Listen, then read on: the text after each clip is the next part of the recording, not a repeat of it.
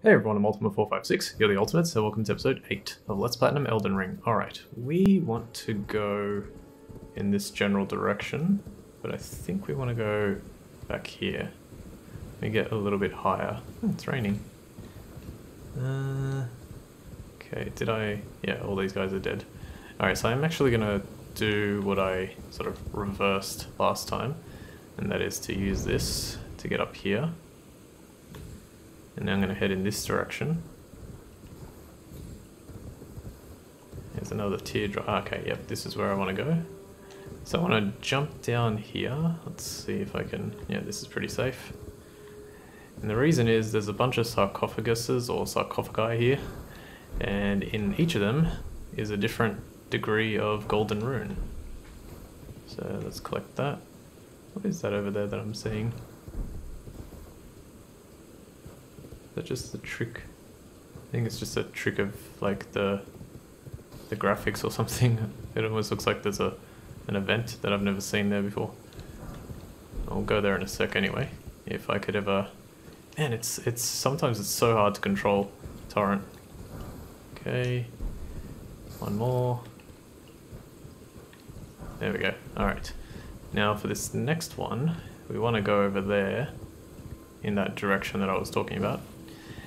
Uh, okay, it's a little risky, but I'm going to try it. Cool. Uh, let me try and go around this one instead. Go. Good. Alright, cool. Make it over here. What is going on? Okay, it was just the lighting there. Collect these ones as well.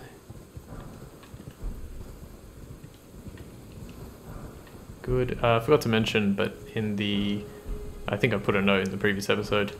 Uh, when you use uh, Patches' chest um, and get teleported, you become trapped, and you can only uh, fast travel once you find another grace point, which I, I did in the Third Church of Marika.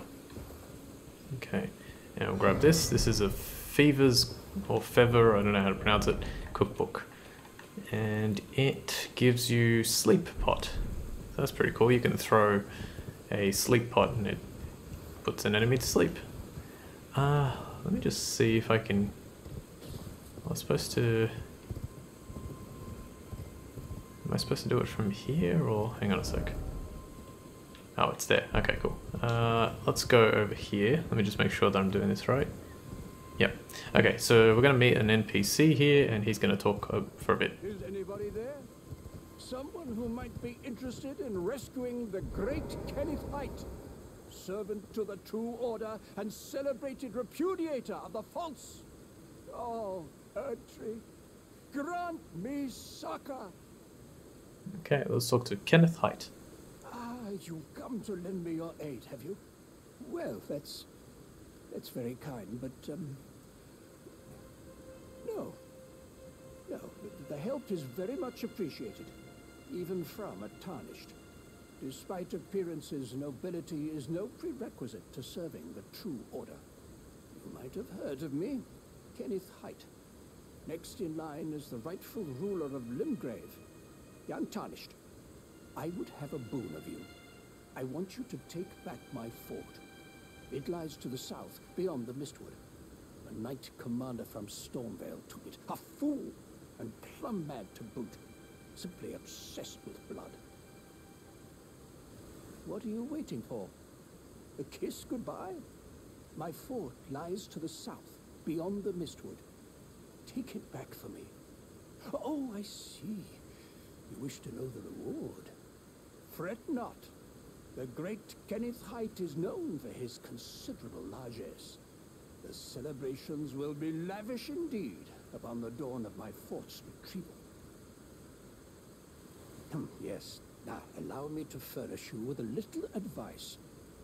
I would take great care to avoid Godrick's tarnished hunts were I in your shoes. That depraved lot are obsessed with sacrificing tarnished like you for the sake of grafting. Honestly, Godrick's nothing more than a jumped-up country bumpkin. Lord? Oh, don't make me laugh. First, he hid himself amongst the womenfolk to flee the capital, then hid from Radahn in that castle. Then he insulted Malenia, lost to her in battle, only to lick her boots rather than die like a man. Has he no shame? The big girl's blouse? And to think, he's the blood of Godfrey, last of the golden lineage. Though you almost wouldn't know it to look at him.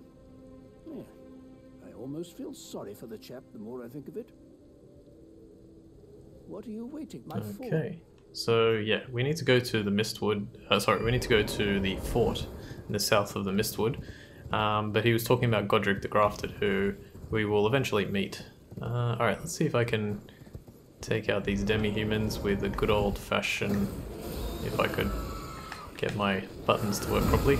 Ground Slam! Ground Slam! it's pretty good.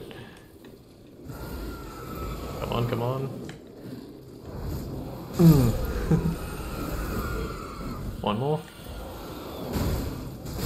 Nice.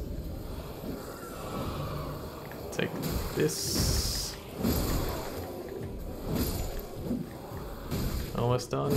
Yay! Alright, let's see what we got. Anything good? Glowstone, glass shard. You can get some magic grease here. That one's already here. That's pretty good. That's that goes to show like how Ground Slam actually can be pretty good. So yeah, it, it was a little risky, but it, it paid off. Uh, let's go get that grace point over there. Quickly take a swig. Alright, so we will go to the fort in the south of Mistwood, but not just yet. What I want to do is I want to get that grace point, and we're going to go up here, following this road. And we want to hop up there because there's something that we can get that uh, will give us an item in a moment. Let me just see. Yep. So let's just climb this. Up. Go to the right. There's a teardrop scarab there, but it's just a replenishing health one. Or replenishing uh, the, the flasks. Okay, so in here, there's another grace point, and you'll see that there's also a painting This Painting is interesting how this works. Another little puzzle that the game offers you. Okay, Artist's Shack. So if we examine this, it says Homing Instinct Painting. So if we look at that in our inventory in the notes section or info section, it says Reminiscence of the painting Homing Instinct. Uh, homing Instinct, examine using square. Work of a wandering artist, reminiscence of a painting titled Homing Instinct. This painter is said to have captured the landscape scene during the last moments of those welcomed into death's embrace. The soul of the painter and vestiges of the dead's last moments can be discovered by visiting the location depicted even now. Okay, cool. So we need to find where that location is. Uh, we've actually passed by that location, so let's go straight there. Let me just make sure. Yes, okay. Uh, we're gonna go to the first step, which is where we started. It's actually really close to where we started. And now, turn around, head down here. And if we carefully drop down to this area below, you can hear these people screaming here as well. Everyone is screaming because, well, they're in pain. Alright, so if we look here, this is exactly where the painting was describing, had that those gravestones. We have this person here that appears because we now have the painting, and we can pick up the Incantation Scarab. I'll just show you that painting again. So there it is, and it looks exactly like that. Oh, it's a bat. I was like, what is that? Is that a bat with... That might be... Let me try something. So if you notice, this bat might actually have different colored eyes. And if that's the case, I'm going to use Barrage on him. So you hold L2, and then you just press R1. Nice. Used up all my... Yeah. Sometimes they'll have gold eyes, and if they do, uh, it means that they'll um, provide a few more runes than normal. Alright, anyway, let's get out of there. Go back to the Church of Elleh. Oh, I will read that incantation scarab. It's actually a headpiece uh, believe it or not. It reduces your um, like protection and stuff by quite a bit, your damage negation, but it increases resistance by a fair bit as well. And it says slightly reduces the FP cost of incantations, but increases damage taken. And it says golden scarab worn directly on the head. These scarabs roll clumps of incantations during their labors. As a scarab approaches death, it abandons its rolled treasure and stretches its wings wide for the long journey to its home nest.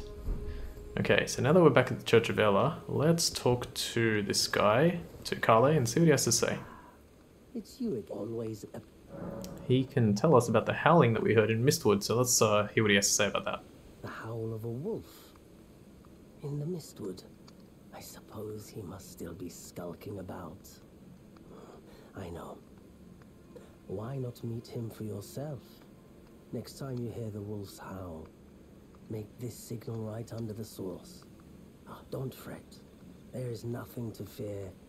I just have an inkling the two of you might hit it off. Okay, and we get the finger snap gesture. Goodbye for now. So he said basically if we make this gesture underneath where we heard the howling, we can meet this person. So let's actually go do that. This is the, the beginning of another quest, side quest, whatever, that we can get. So let's head over here. Oh, okay. Be very careful with these bears, especially, I mentioned in the previous episode, don't kill any bears. That advice was just because they're very strong right now, but definitely don't kill any of these large ones, these rune bears. They seem to be all over the place at the moment. Um, the reason is because they actually have an effect on what we're doing right now with this character, apparently. I'm not entirely sure if it's the case, but apparently they do have an effect. Okay, so he's right over there, so I'm going to stand right under here. And I'm going to go to the right to gestures, change bow, and pick finger snap, which is this one here. Back out, and then press X to do it. And he drops down, and he is enormous. Let's assume our guy is six foot. This guy is like 12 feet tall. Let's talk to him. Who goes there? Kalé sent you, did he? Ever the bloody busybody. Hmm. Maybe to him you don't seem so strange. The name's Blaidd. I'm looking for a man who goes by Darriwil. He fled somewhere nearby. Or so I've heard. Come tell me if you find him before I do. I can offer you ample reward. Darriwil is nothing but a traitor, and in need of a fitting end to his tale. Darriwil is Okay. in need of a That's all he says. So his name is Blaidd. Um, it's spelt B L A I D D, but pronounced B L Y T H E, I guess. Um, and he's looking for someone named Darriwil. Let's go to the Agheel North uh, Grace Point for now. And let's have a look. Okay, I can't tell if it's nighttime. It doesn't look like it is, but uh, let's be on the safe side and just change it to morning. Cool. Alright, and now we're going to head south. You want to make sure it's nighttime, uh, sorry, not nighttime because this bridge that we're going to come to has a powerful enemy that spawns only at night and we're not going to fight him just yet. want to be a little bit stronger before we do. Let's take these guys out. Always one health. this guy just ran away. And he had something on him. Oh, ruin fragment. Okay. So there's also a uh, teardrop scarab here. Let's get it. Nice, this one didn't even move. He dropped the Ash of War Determination. Decent Ash of War. It sort of increases your... Oh gosh, okay. I think it's like it's like a stance type of move and it increases the damage you deal you use it. I'll read it in a sec actually. I never explained that prattling pate hello either. Wait. Is that is that the guy I'm trying to avoid? or is he looks slightly different? No, I think that's just yeah, that's just a normal guy. He looks different. Uh, I mean, it looks the same. Uh, so Prattling Pate, hello. Twisted clay sculpt in the shape of a human head. He emits a voice that says hello. A wistful fetish that imparts voices and words on an eternal journey. So let's use it. Hello. uh, and what was the other thing? I've already forgotten. The Ash of War. For determination. This Ash of War grants an armament the quality affinity and the following skill. Determination, a knightly skill. Hold the flat of the armament to your face and pledge your resolve, powering up your next attack. Usable on all melee armaments. So yeah, nothing too special, but it's there. Okay. Let's also take this guy out. Swing, swing, swing, smack. That was well timed. Swing, swing, swing, smack. Missed. Alright, well, at least now I know it's three swings. And timed that wrong. One, two, three, smack. Take that. When he's lying on the ground like that, with his like chest up in the air, you can perform a critical hit as well. You have to make sure that you got that guard break on him, but you can do that. Nice, got a bleed on him too. Okay, before we move, before we move further down, let's grab this, which is smithing stone one. And we can actually grab another item. I think it's over here.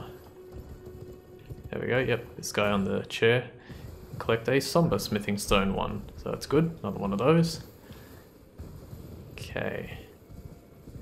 Now we want to go... Okay, so there are some enemies coming this way in a large, like, cart, or they're, like, pulling a large carriage. Two of those stone digger trolls. Fortunately, they're not too aggressive. It's sort of the guys around them that are aggressive. They will be aggressive if we do start attacking them though, so let's go around. Go this way. Keep going, keep going. We definitely want to make a few fire pots for this area because there's this big flower thing here. And the way it works is it's weak to if I could... No! Hang on. yeah, it does that move. That's what I wanted. But it is weak to fire, so if we throw that... It's good. And what we'll do is we'll use our Flask of Wondrous Physic.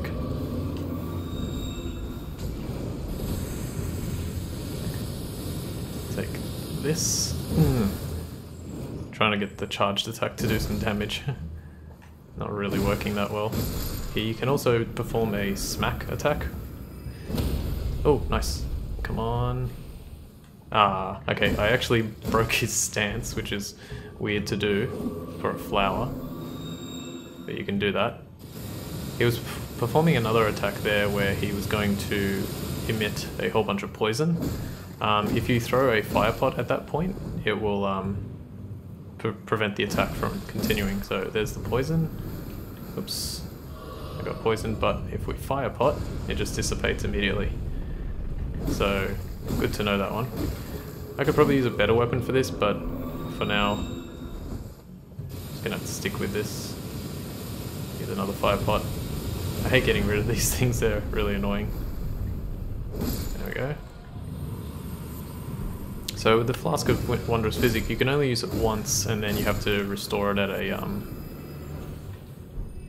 at a uh, grace point. So, but it does last for a while. Like at the moment, if you look, the top left icon on my under my stamina bar is my axe talisman taking effect. It's the extra charged attack damage.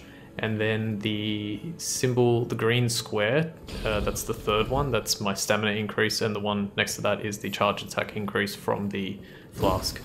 And as you can see, it's still active. Like I used it. I think it lasts for about three minutes. I'm not 100% sure, but Seems to be around three minutes. Okay, we're almost out of time.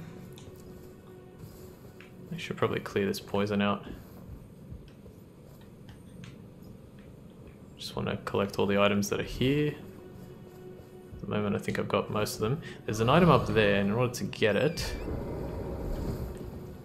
we can hop up here with Torrent.